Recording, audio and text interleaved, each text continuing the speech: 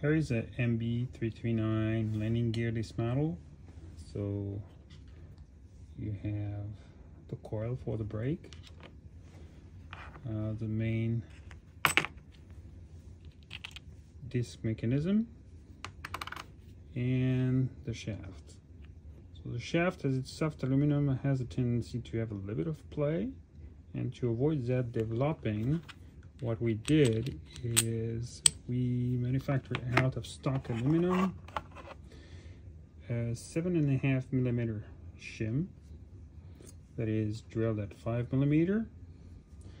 And whereas the outside diameter is fitting I'm not sure if you can see here but fitting inside the braking disc. So it will let the braking disc come close to coil and and still holding the front the bearing as much as you can to avoid that that slop here.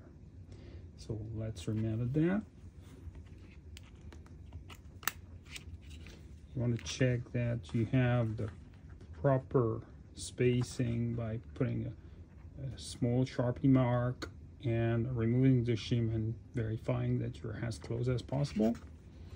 And just needs to remount that using the screw that is here on the side.